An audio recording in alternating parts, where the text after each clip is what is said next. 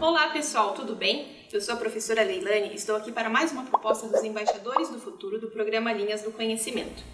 Hoje nós vamos viajar para uma cidade educadora, ou seja, uma cidade que possui elementos educativos, que educa para a cidadania democrática, para a diversidade, que promove o fortalecimento da identidade e do pertencimento. Que cidade será essa, hein? Vamos para algumas dicas. Dica 1. Esta cidade fica no Brasil e tem uma área de mais de um milhão e meio de quilômetros quadrados. Muito ampla esta dica, não é? Vamos para a próxima. Dica 2. Com mais de 12 milhões de pessoas, é o município mais populoso do Brasil, ou seja, a cidade com maior número de habitantes. Dica 3. É o município brasileiro com maior influência no cenário global. Está ficando mais fácil adivinhar qual é esta cidade? Dica 4 é uma cidade cosmopolita, ou seja, ela abriga moradores de mais de 196 países, sendo influenciada por diversas culturas. Dica 5. Um de seus apelidos é Terra da Garoa, porque antigamente, durante a primavera e o outono, as garoas eram muito frequentes. Hoje, esse fenômeno é mais raro de acontecer, tanto pelas alterações climáticas quanto pelas mudanças urbanas, como pelo aumento do número de edifícios e menor número de árvores. E agora nossa última dica. Seu nome é o mesmo do seu estado. Vocês já sabem de qual cidade estamos falando? Seria Curitiba, Gramado, Porto Alegre ou São Paulo?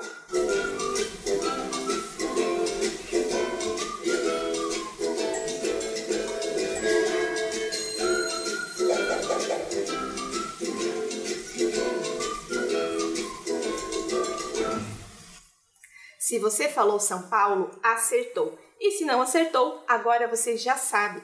Para esta aula, nós vamos percorrer um pouquinho pela história da cidade e conhecer seus espaços históricos e culturais. Na medida do possível, eu vou mostrar para vocês como era e como é atualmente.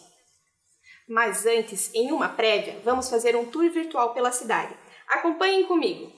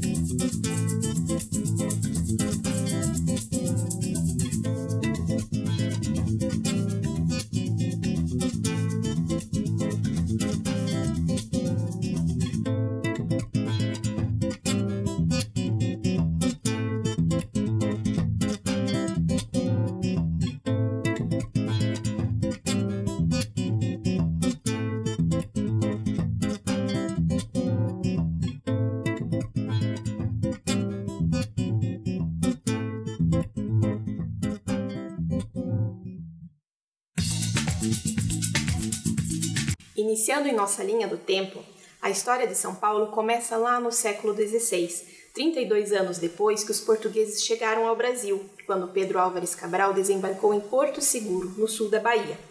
Assim, em 1532, Martim Afonso fundou a Vila de São Vicente, a atual Baixada Santista no litoral paulista. Dois anos mais tarde, Dom João III estabeleceu as capitanias hereditárias, sendo uma delas a Capitania de São Vicente. Na metade do século, o padre Manuel de Nóbrega e os jesuítas subiram a Serra do Mar e chegaram ao planalto de Piratininga, onde vivia um aldeamento indígena. Então, em 25 de janeiro de 1554, fundaram o Colégio de São Paulo de Piratininga, uma mescla do nome do santo do dia, o apóstolo de São Paulo, e o nome do aldeamento que ali vivia, Piratininga. O colégio tinha como finalidade catequizar os indígenas que viviam na região e no seu entorno, dando início ao povoado. Na tela esquerda, nós vemos a pintura de Antônio Parreiras, de 1913, obra intitulada Fundação de São Paulo. Ao centro, uma fotografia de 1862, mostrando o pátio do colégio. E na imagem à direita, uma foto atual do estabelecimento, que hoje é chamado de Pátio do Colégio, um complexo histórico, cultural e religioso que pertence à Companhia de Jesus, uma ordem religiosa dos jesuítas. Atualmente, o espaço abriga a Igreja São José da Anchieta, o Museu Anchieta e o Museu de Arte Sacra dos Jesuítas. Além de ser uma referência na preservação da memória da cidade, atua também na promoção da cultura, por meio de realização de eventos gratuitos ou de baixo custo. Voltando à nossa linha do tempo, em 1560, o povoado foi elevado à condição de Vila de São Paulo de Piratininga, representada na pintura ao lado esquerdo da nossa tela. Nesse período, seus habitantes tentavam viver da agricultura de subsistência, mas a tentativa de plantar cana-de-açúcar foi frustrada e a estrutura da região ainda era muito precária. No século XIX, a Vila de São Paulo era ponto de partida de expedições ao interior do Brasil, com o objetivo de explorar pedras preciosas e metais preciosos e também de escravizar os povos indígenas que viviam na região. Essas expedições eram chamadas de bandeiras e os homens que as realizavam eram conhecidos como bandeirantes. Na imagem à esquerda está a Casa do Bandeirante, uma típica habitação construída entre os séculos 17 e 18, com características da arquitetura colonial paulista. Atualmente, a casa é chamada de Casa do Butantã e faz parte do Museu da Cidade de São Paulo, sendo incluída no roteiro turístico histórico da cidade. Em 1681, foi decretada a transferência da capital da capitania de São Vicente para São Paulo. Alguns anos mais tarde, início do século XVIII, Dom João V elevou a vila à categoria de cidade. E nessa época, São Paulo ainda era carente de uma atividade econômica lucrativa, permanecendo então em situação de pobreza. Por ela passavam os tropeiros, tropas em cavalos ou mulas que percorriam as regiões do país transportando gado e mercadorias de regiões de produção para centros consumidores. Avançando em nossa linha do tempo, o século XIX ficou marcado pela chegada da coroa portuguesa ao Brasil, em 1808. Com isso, o país passou por uma série de transformações em sua arquitetura, na educação, na arte, entre outros setores. São Paulo também se beneficiou dessas mudanças. Alguns anos mais tarde, em 1815, por sua importância estratégica, sendo o caminho entre Minas Gerais e o Paraná, transformou-se em capital da província de São Paulo. Na imagem na tela está a obra Várzea do Carmo, de 1821. Na aquarela, o artista retratou a entrada da cidade pelo Brás, um bairro atual de São Paulo. Uma curiosidade é que foi na Várzea do Carmo que aconteceu o primeiro jogo de futebol reconhecido no Brasil. Para o botânico francês Auguste Saint-Hilaire, que visitou o local na época, a Várzea do Carmo era uma planície sem acidentes que apresenta uma encantadora alternativa de pastagens rasteiras e de capões de mato pouco elevados.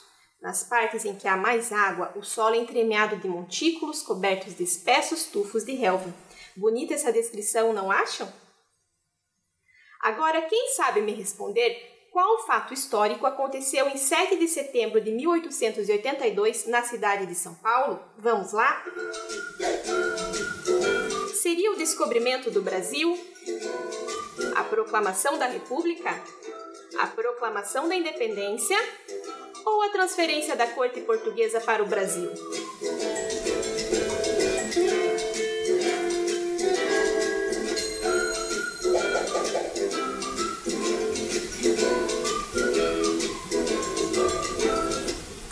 Quem respondeu proclamação da independência acertou. Naquele dia de 7 de setembro de 1882, às margens do rio Ipiranga, Dom Pedro gritou independência ou morte, iniciando então o processo de separação entre o Brasil e Portugal. Além de ter sido palco para este importante fato histórico, a cidade de São Paulo virou sede administrativa da província. Na imagem na tela, vemos a obra Independência ou Morte, uma pintura em óleo sobre tela de 1888 do artista Pedro Américo.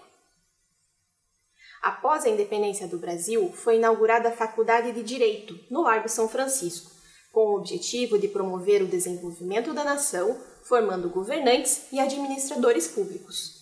Sua arquitetura, em estilo neocolonial, possui elementos do barroco luso-brasileiro. Atualmente, o edifício é tombado como patrimônio histórico do estado de São Paulo e abriga um importante acervo cultural. Nele podemos encontrar pinturas e esculturas de artistas renomados, um dos mais tradicionais pontos históricos do edifício é o relógio do frontão, o mais antigo da cidade e mantido em sua forma original. A faculdade também tem a primeira biblioteca do estado de São Paulo, que conta com um acervo de longa data, desde 1825. Mesmo ano em que foi aberto ao público o Parque Jardim da Luz, o mais antigo da cidade de São Paulo.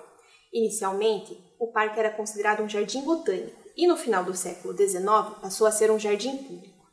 Atualmente, o parque recebe eventos, possui espaço para apresentações, coreto, parquinho, equipamentos para atividade física, entre outras características. Em meados do século XIX, o solo da região de São Paulo mostrou-se ideal para a plantação de café, e a agricultura cafeira foi o principal fator que impulsionou o desenvolvimento da cidade. Todo o movimento em torno da economia cafeira exigiu a construção de portos, indústrias e ferrovias para escoamento do principal produto de exportação da época. A imagem à direita na tela é uma foto de 1870 da estrada de ferro Santos Jundiaí. Inicialmente, o período conhecido como ciclo do café contava com mão de obra escrava do tráfico de população africana. A foto à esquerda da tela é de 1882 em que mostra os escravos em uma fazenda de café.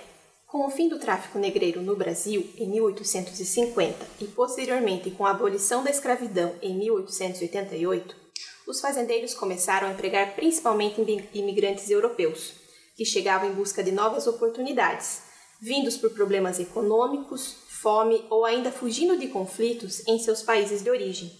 Na foto à direita da tela estão os imigrantes no cafezal, por volta do ano de 1900.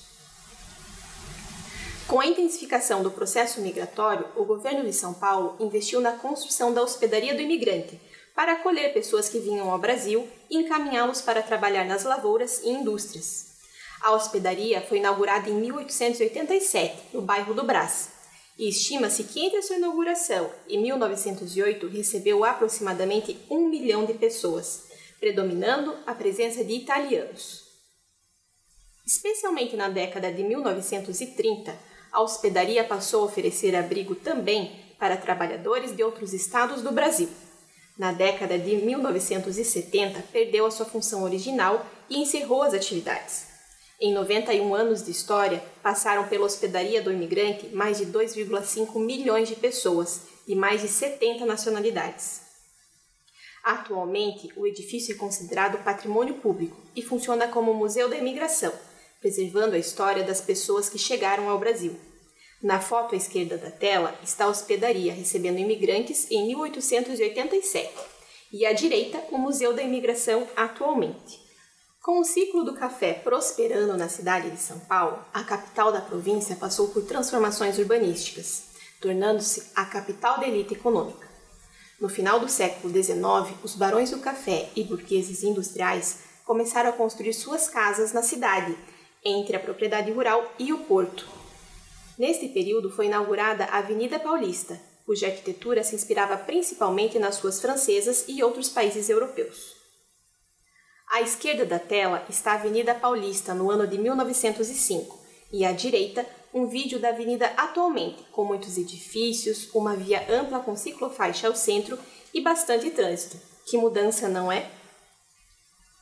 O museu público mais antigo da cidade é o Museu do Ipiranga, ou Museu Paulista, vinculado à Universidade de São Paulo. Seu acervo, com cerca de 150 mil itens, inclui objetos, mobiliário e obras de arte, especialmente que possuam relação com a independência do Brasil e este período histórico. Lembram da obra Independência ou Morte que vimos há pouco? Ela está em exposição no Museu do Ipiranga. Desde 2013, o museu está passando por obras e restauros, e a previsão da sua reabertura é para setembro deste ano, como parte das celebrações do bicentenário da independência. Na tela à esquerda, vemos a pintura de Henrique Manzo, de 1882, intitulada de Pedra Fundamental do Museu Paulista. Ao centro, uma foto da construção do museu, de 1888, e à direita, o Museu no Parque da Independência, em 2019. Temos falado muito em vacinas por conta da pandemia que estamos passando. O mundo e também o Brasil já passaram por outras situações que envolveram problemas de saúde pública. Em 1889, o Brasil registrou os primeiros casos de peste bubônica. E em 1901, o governo de São Paulo construiu um laboratório para produzir o soro que viria a combater a doença. Esse laboratório foi o início do Instituto Butantan, esse mesmo que está produzindo uma das vacinas contra a Covid-19. São muitos anos de experiência, né? Em 2019, foi criado o Parque da Ciência Butantan, que tem como objetivo inspirar o interesse e a curiosidade pela ciência e pela pesquisa desenvolvendo ações educativas, ambientais e de lazer. Vamos conhecer alguns espaços desse parque? O espaço Terra Firme é onde funcionou o primeiro laboratório, onde foi produzido o soro contra a peste bubônica. Ele foi remodelado e atualmente abriga exposições temporárias. Outro espaço interessante é o Museu Biológico, que conta com uma exposição de animais vivos, grande parte representantes da fauna brasileira. O Museu de Microbiologia tem como missão estimular a curiosidade científica de crianças e adolescentes, divulgando também atividades desenvolvidas pelo Instituto. Na floresta, os visitantes podem percorrer a trilha, apreciando e conhecendo mais sobre a flora e a fauna do parque. O parque conta ainda com o macacário, cujos primeiros macacos chegaram em 1929 para pesquisa sobre a vacina contra a febre amarela, um reptiliário para observação de répteis como lagartos e quelônios e um serpentário com serpentes da fauna brasileira. Voltando à linha do tempo, no começo do século XX, em 1901, foi reinaugurada a Estação da Luz, cujo projeto foi inspirado na Abadia de Westminster de Londres. A Estação da Luz é uma das mais importantes estações ferroviárias da cidade de São Paulo. Sua construção reflete o momento histórico que a cidade vivia, evidenciando o poder do café na expansão de São Paulo. À esquerda, nós vemos uma foto da antiga Estação da Luz, tirada entre 1880 e 1900. À direita, a foto da estação atualmente, ao entardecer e iluminada. Muito bonita, não é mesmo? Além de sua arquitetura que se destaca, a estação abriga obras de arte que ficam expostas no seu subsolo. No mesmo terreno do Parque Jardim da Luz que nós vimos há pouco, está a sede da Pinacoteca de Estado de São Paulo, sendo considerada o museu mais antigo da capital paulista, construída em 1905. Você sabe o que é uma pinacoteca? É uma galeria ou museu de pintura, e a de São Paulo abriga um dos mais representativos acervos de artes visuais brasileira do século XIX e contemporânea, no início, o acervo contava com 26 pinturas, hoje possui cerca de 9 mil obras. Ainda com o ciclo do café prosperando, a alta sociedade paulistana desejava uma casa de espetáculos para receber artistas de música lírica e teatro. Assim, em 1911, o Teatro Municipal foi inaugurado, sendo o primeiro prédio a ser totalmente abastecido por energia elétrica. Seu estilo arquitetônico foi inspirado na Ópera de Paris, e o edifício faz parte do patrimônio histórico do estado de São Paulo. O Teatro Municipal é considerado um dos palcos mais notáveis do Brasil, tendo recebido importantes companhias, personalidades da cultura nacional e internacional, bem como eventos, como a Semana de Arte Moderna de 1922, um encontro artístico-cultural em que foram realizadas conferências e palestras sobre arte no Brasil e no mundo, exposições de obras de arte, festivais envolvendo a pintura, escultura, a literatura, a poesia e a música. O evento foi organizado por um grupo de artistas e intelectuais que representavam o modernismo brasileiro, um movimento artístico que valorizava a identidade brasileira, a autonomia dos artistas, a liberdade estética, a experimentação. Como os poetas Mário e Oswaldo de Andrade, Manuel Bandeira, o artista plástico de Cavalcante, o compositor Heitor Villa-Lobos, a pianista Guilmar Novaes, e com destaque para Anita Malfatti, pintura paulistana, também desenhista, gravadora, ilustradora e professora. Na Semana de Arte Moderna de 22, Anita foi artista com maior representação individual na exposição, com 12 telas a óleo e 8 peças em gravuras e desenhos. Este ano é comemorado o centenário da Semana de Arte Moderna de 1922, e para celebrar esses 100 anos, a Secretaria da Cultura do Estado de São Paulo preparou uma programação especial envolvendo exposições e eventos na Pinacoteca, nos museus, nos teatros e outros espaços culturais da cidade. A arte, mesmo a mais pessimista, é uma proposição de felicidade, uma frase do poeta Mário de Andrade, um dos organizadores da Semana de Arte Moderna de 1922. Se até o início da década de 1920 o café era o principal produto de exportação e carro-chefe da economia em São Paulo, em 1930 a cidade foi atingida pela crise cafeira. O aumento excessivo da safra de café, aliado à quebra da Bolsa de Nova York em 1929, foram decisivos para mudar os rumos da economia paulistana. Nos anos seguintes, a cidade passou por grandes intervenções urbanísticas, especialmente no setor viário o desenvolvimento industrial tornou-se o principal motor da economia, com destaque para a indústria automobilística. Um dos mais importantes pontos turísticos da cidade de São Paulo é o mercado municipal. Inaugurado em 1933, é um ícone gastronômico que comercializa alimentos, como o famoso sanduíche de mortadela, além de oferecer serviços de restaurante. Sua arquitetura é marcada por colunas, abóbodas e vitrais, que foram trazidos da Alemanha e tem como tema agricultura. Continuando em nossa linha do tempo, em 1936 foi inaugurado o Aeroporto de Congonhas, o segundo mais movimentado do Brasil em voos domésticos, especialmente em relação a voos executivos, ou seja, que atende passageiros que viajam a negócios entre São Paulo e outros grandes centros, como Rio de Janeiro e Brasília. Em comemoração aos 400 anos da cidade, foi inaugurada a Catedral Metropolitana de São Paulo, ou Catedral da Sé, o quarto maior templo em estilo neogótico do mundo, inspirado nas catedrais medievais europeias. Também em comemoração ao quarto centenário da cidade, foi inaugurado o Parque Ibirapuera.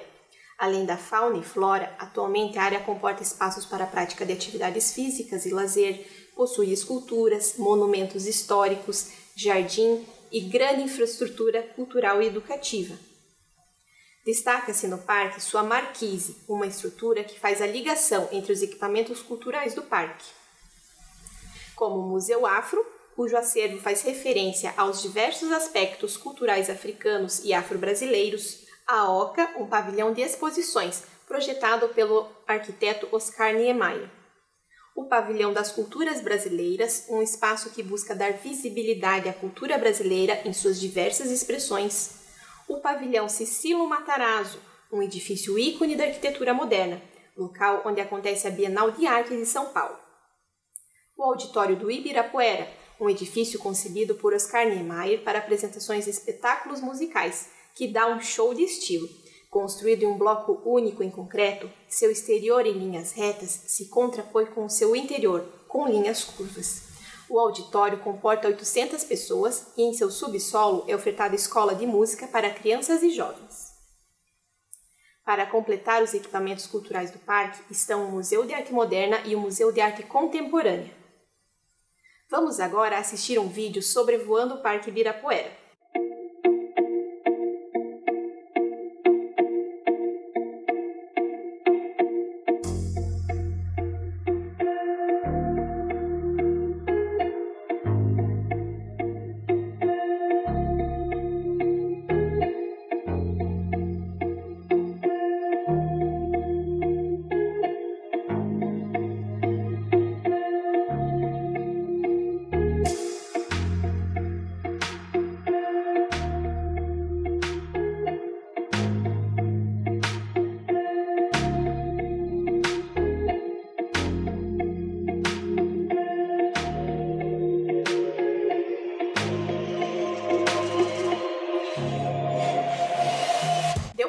Ideia da grandiosidade desse local? São Paulo abriga o primeiro museu moderno do país, o MASP, Museu de Arte de São Paulo, Assis Chateaubriand. O atual edifício na Avenida Paulista foi inaugurado em 1968, com a presença da Rainha da Inglaterra. Sua construção é em concreto e vidro, e em sua base está um grande vão livre, constituindo uma praça, ponto de encontro de pessoas e acontecimentos. Seu acervo é composto por mais de 10 mil obras de arte, americana, africana, europeia, asiática, desde a antiguidade até o século XXI. Outra área de interesse de São Paulo é o Memorial da América Latina, um espaço concebido para ser museu, teatro, galeria de arte, espaço de pesquisa, centro de convenção, espaço para eventos, festas e shows. Sua missão é ser polo de integração social, cultural e política dos países de língua latina e caribenha. Seu projeto é da autoria de Oscar Niemeyer e em seus mais de 84 mil metros quadrados estão a Praça Cívica, a Biblioteca Latino-Americana, o Salão de Atos Tiradentes, a Galeria Marta Traba, a Praça da Sombra, o Pavilhão da Criatividade Darcy Ribeiro, o Auditório Simão Bolívar e o Anexo dos Congressistas. Em 1970, as indústrias da cidade de São Paulo começaram a migrar para os municípios vizinhos, região conhecida como ABC Paulista ou Grande ABC, que comporta mais de 24 mil indústrias. Com isso, a economia paulistana passou por uma nova mudança e, desde então, voltou-se para o setor terciário, tornando-se polo de serviços, de comércio de bens e negócios. Você sabia que atualmente São Paulo é uma das principais cidades do mundo quando o assunto é alimentação e gastronomia? A cidade tem mais de 23 mil estabelecimentos voltados a esse serviço e a gastronomia paulistana é mundialmente reconhecida por sua qualidade, tendo recebido o título de capital da gastronomia e da capital ibero-americana da cultura gastronômica. Destaca-se também no turismo, sendo a cidade mais visitada por turismo de negócio e uma das mais visitadas por quem está buscando lazer. Na área de eventos, está na rota a Bienal Internacional de Arte de São Paulo e o São Paulo Fashion Week.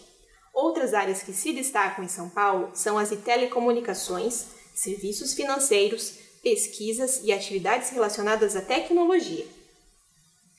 No final do século XX, em 1991, foi inaugurado e realizado o primeiro desfile no Sambódromo do Anhembi.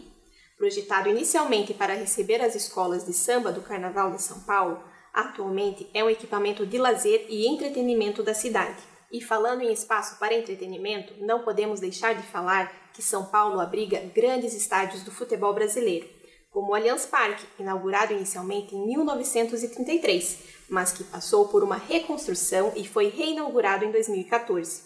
O Allianz Parque é a casa do Palmeiras e, além do futebol, recebe outros eventos, como shows de grandes nomes da música nacional e internacional. O Estádio Municipal Paulo Machado de Carvalho, mais conhecido como Pacaembu, foi inaugurado em 1940. Além de ser palco para o esporte mais amado dos brasileiros, abriga o Museu do Futebol, que possui exposições que narram a história do futebol brasileiro. Outro estádio em destaque na cidade é o Morumbi, a sede oficial do São Paulo Futebol Clube. Inaugurado em 1960, é o terceiro maior estádio particular do Brasil. E por fim, o mais novo estádio da cidade, inaugurado em 2014, é a Neoquímica Arena, a casa do Corinthians, popularmente conhecido como Itaquerão. Foi construída para ser sede na Copa do Mundo de 2014 Durante o Mundial, sediou sete jogos e recebeu 61 mil pessoas num jogo entre Coreia do Sul e Bélgica. Mais recentemente, em 2020, a Secretaria Municipal de Cultura de São Paulo lançou o projeto Museu de Arte de Rua. A iniciativa tem como objetivo valorizar a produção de arte urbana por meio de técnicas como o grafite, o stencil e a fotografia. Em um verdadeiro museu a céu aberto, é possível contemplar as obras em prédios e muros da cidade. O projeto também faz uma homenagem aos profissionais da linha de frente na pandemia de Covid-19, com obras voltadas para este tema. Vamos conhecer algumas obras expostas nas ruas e avenidas de São Paulo?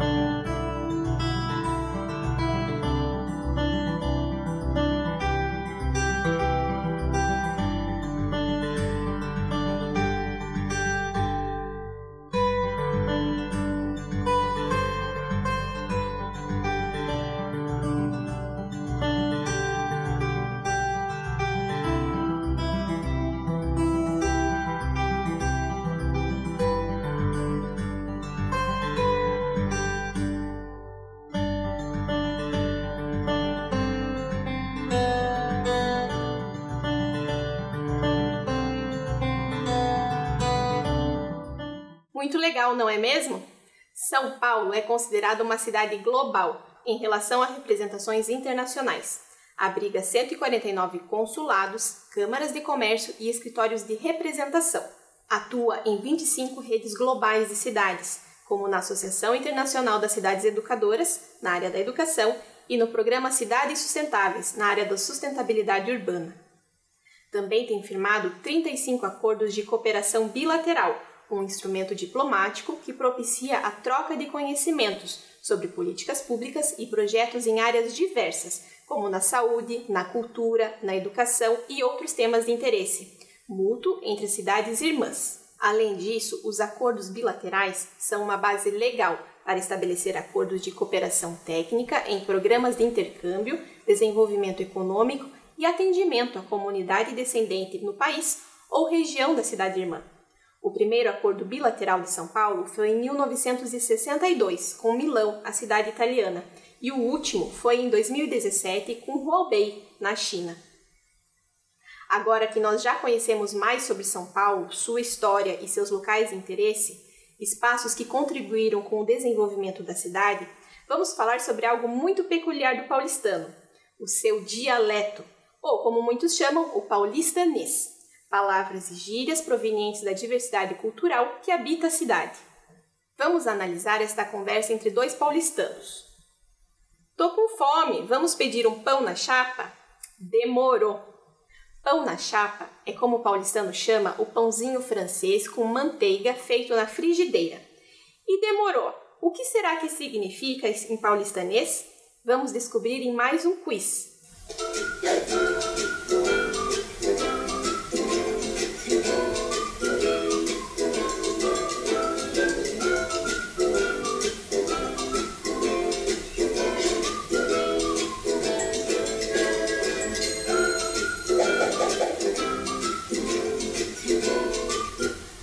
Demorou é a gíria que o paulistano usa para expressar com certeza ou sim, vamos.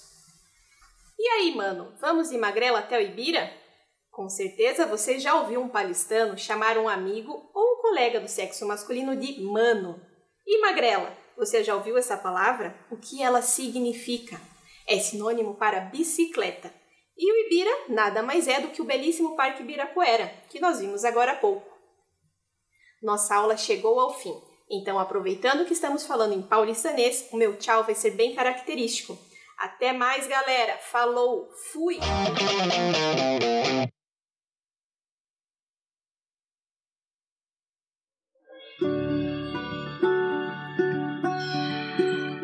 Gente, gente, se preparem porque hoje o conteúdo vai ser especial. Com vocês, jeito de demonstrar carinho na pandemia.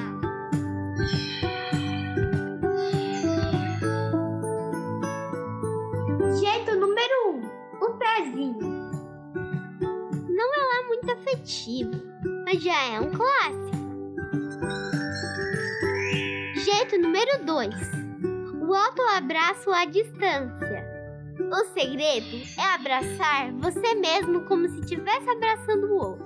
E imaginar que você está recebendo um abraço do outro no seu próximo abraço. Deu para entender?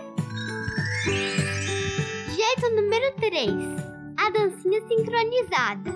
Esse é só para quem gosta de uma diversão.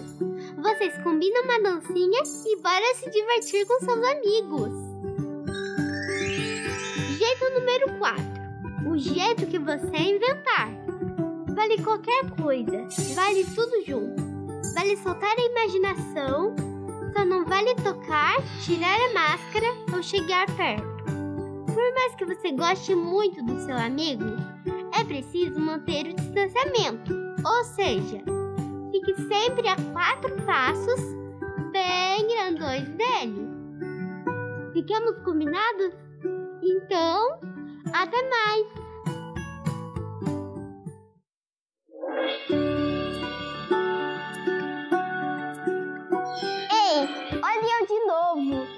Perguntar uma coisa. Já tá pronto para voltar para a escola? E o material? Já separou?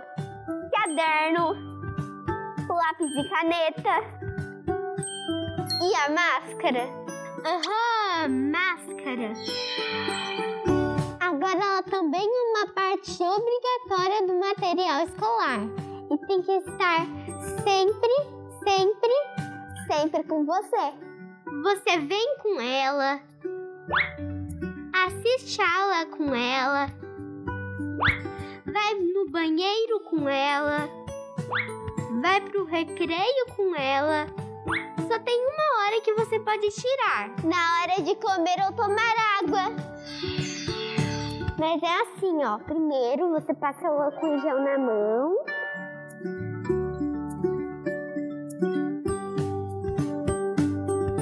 E tira a máscara com cuidado, pegando pelo elástico. E coloque dentro de um saquinho vazio. Lembre-se de trazer de casa, hein?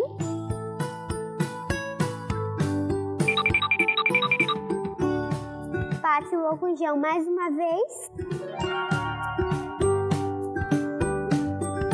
E daí aproveite o seu lanche. Hum. Aí, quando terminar de comer, passa o álcool de novo.